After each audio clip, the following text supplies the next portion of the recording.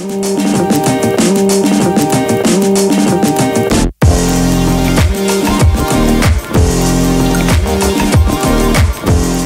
no vídeo de hoje eu vim compartilhar com vocês as top bases, pra ser mais específica, assim, as bases que eu indico, as bases que eu usei nesse ano de 2021 e que eu acho que vale a pena o investimento. Então, se você quer conferir, acompanhe esse vídeo até o final, já deixa o seu like e se inscreve aqui no canal pra conferir mais vídeos como esse. Então, bora lá! Vou começar falando da com acabamento mate, que é o que a mulherada adora, né? Quer ficar com a pele bem sequinha. Mas eu confesso, gente, que nesse ano de 2000 e... vamos dizer, de 2020 pra cá, né? 2021, eu venho curtindo um acabamento mais natural, mais glow, mas isso é muito é, particular, né? Esse é o meu gosto. Mas vamos lá, passando a dica pra vocês. Eu escolhi aqui a base da NARS, é uma base com o acabamento mate, porém ela é uma base fluida, é uma base que você consegue aplicar e não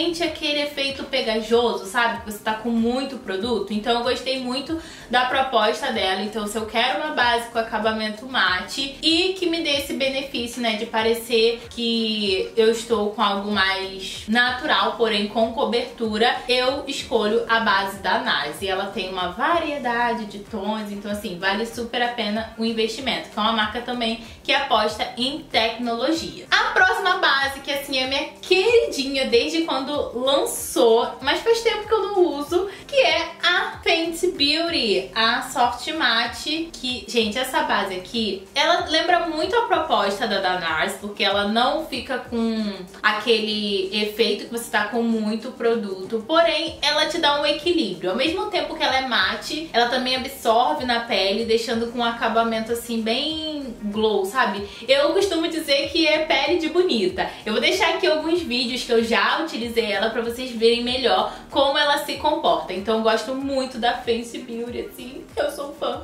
Rihanna, meu coração é todo seu, porque eu tenho vários produtos da Fenty, sou muito fã mesmo. E eu acho que vale muito a pena o investimento, até por conta da variedade de tons. Como você pode perceber, as duas bases que eu já indiquei são bases internacionais, né? Mas que você já encontra facilmente aqui no Brasil. Mas agora eu vou começar a indicar as bases nacionais que não perde nada, assim, a qualidade é muito boa também e que vale a pena o investimento e vamos dizer que o valor assim é mais acessível. A primeira é a Skin Perfect da Eudora Glam. Gente, eu fiquei assim simplesmente apaixonada por essa base no ano de 2021. Se eu não me engano, ela foi lançada em 2020, mas eu tive o prazer de testar e até fazer uma parceria com a Eudora quando ela lançou o Refil, que é algo muito interessante também, porque ela vem nessa embalagem, ó. Só que você consegue comprar só o produto. Então eu achei muito bacana essa proposta. E essa base, como o nome já diz, né, Skin Perfect, além dela ter a funcionalidade da base, que é cobrir a pele, ela também cuida. Então ela tem colágeno, ácido hialurônico e FPS 25, o que eu acho muito interessante, porque ao mesmo tempo que você tá embelezando a sua pele, você já está cuidando. Então vale muito a pena o investimento. Fica a dica.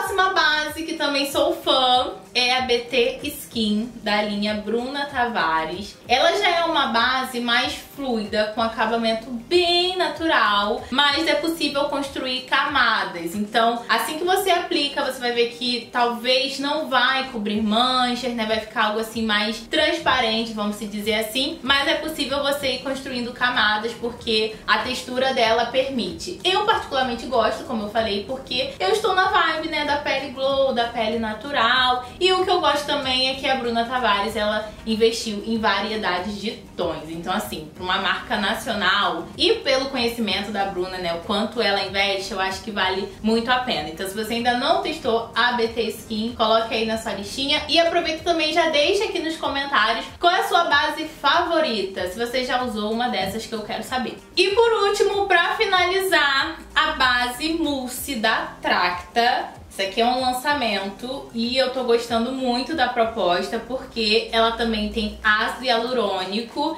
e também tem chá verde que ajuda a cuidar da pele. E a Tracta, ela é muito conhecida pela sua base mate, né? Aquela base que fica bem sequinha. E aí o que eu achei muito interessante é que eles inovaram com essa proposta de dar cobertura à pele, né? Manter a pele mate, que isso aqui é oil free também, mas com esse que a mais, com esse cuidado a mais. A sua textura também é super fluida que permite que você construa camadas. Ela não é tão fluida, tão líquida quanto da BT Skin, mas é uma textura que você consegue trabalhar assim tranquilamente, espalhando bem e criando camadas. Então eu tô gostando bastante, já entro aí pra lista das minhas bases queridinhas. Então essas foram as minhas top 5 bases que eu super quando o assunto é acabamento, é cuidar da pele. Lembrando, não esqueça de compartilhar comigo aqui nos comentários qual a sua base favorita, se você já testou uma dessas. E claro que cada pele se comporta de uma forma, né? Então aqui são as minhas 5 bases favoritas,